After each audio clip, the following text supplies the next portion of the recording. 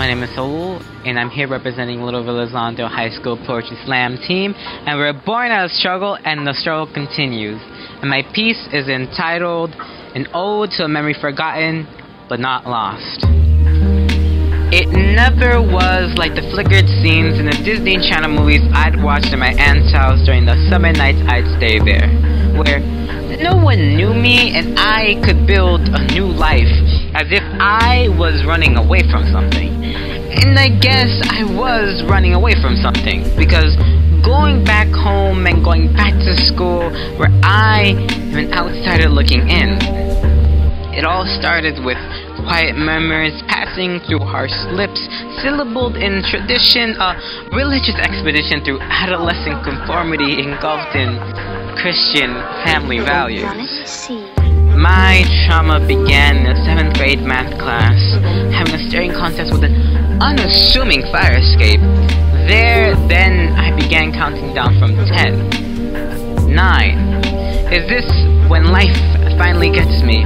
It often feels like a fleeting memory. Is this really the end of me? Beginning to walk, watching my feet dance along to melody, reaching my teacher's desk and laying a note on it. Hey, I'm suffocating, but I've never felt so alive. Inhale, exhale.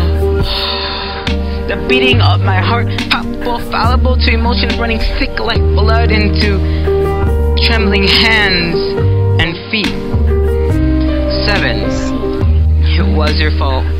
You watched me, talked to me, heard everything I said and said nothing. You didn't lead me to the fire escape, but you didn't stop me either. Six. You think I'll make the news? Probably not. You know, it's a nice thought, but no one's gonna care. So what's the point? Five. I don't mean to be so morbid.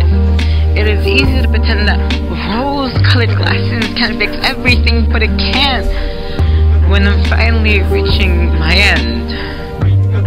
Or, I'm sorry, I, I didn't want it to be like this. I was left with no other option. Te quiero mucho, my I open the door. Three. There never was two or one. The moment I opened that door, my manager pulled me right back in. I think about the moment every day as if I'm reliving it, and I wish I could tell her thank you. Because without her, I wouldn't be here to tell you this story.